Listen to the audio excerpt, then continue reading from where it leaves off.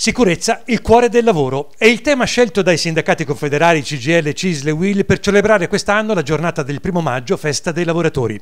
Come da lunga tradizione si terrà a livello di Versilia storica una cerimonia unitaria che interesserà i comuni di Seravezza, Pietrasanta, Stazzema e Forte dei Marmi e che avrà luogo a Seravezza martedì mattina.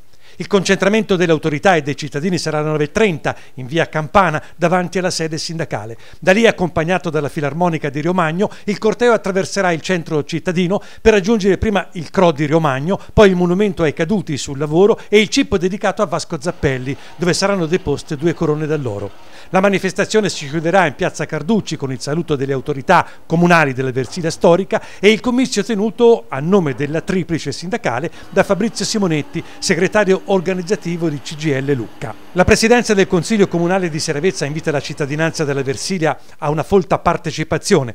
Le celebrazioni del primo maggio riportano quest'anno al centro dell'attenzione il drammatico fenomeno degli infortuni e delle cosiddette morti bianche, sottolineando giustamente come il tema della sicurezza sia fondamentale per il mondo del lavoro. Questo dichiara il presidente Riccardo Biagi. Meno di un mese fa, proprio a Seravezza, la Regione Toscana ha presentato i risultati del piano straordinario per la sicurezza nelle cave avviato lo scorso anno nel distretto Lapidio Apo Versiliese. Se da una parte è emerso che negli ultimi dieci anni gli infortuni in cava sono complessivamente diminuiti, sappiamo anche però che sono aumentati quelli mortali dieci dei quali avvenuti tra il 2006 e il 2016 proprio nelle cave delle Apuane.